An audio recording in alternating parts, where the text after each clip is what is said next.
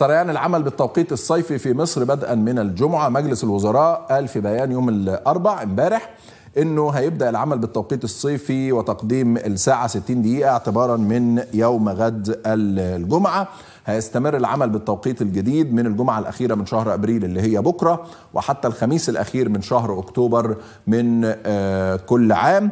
مجلس الوزراء كان قال في مارس إنه هيرجع التوقيت الصيفي مرة تانية بعد ما أوقفوه لعدة أعوام. النقطة دي عايز أقول فيها تعليق سريع طبعا بالنسبة للناس. حاولوا دلوقتي تروحوا على الساعات اللي في بيوتكم كمان أربع خمس ساعات الساعات اللي في إيديك الموبايلات الكلام ده كله. لو عندك شغل ظبط الساعة لأن بكرة بيبقى يوم فيه فوضى كبيرة جدا بكرة المفروض أجازة يعني. فحاولوا إن أنتوا بكرة وبعده تتعودوا نفسكم على التوقيت الصيفي. الحكومة بتاعتنا اللي لغت التوقيت الصيفي من كذا سنة وقالت خلاص ملوش لازمة إعادة التوقيت مرة تانية بيقول لك قد إيه الحكومة دي بتدير البلد بعشوائية. ما, ما تبقاش فاهم.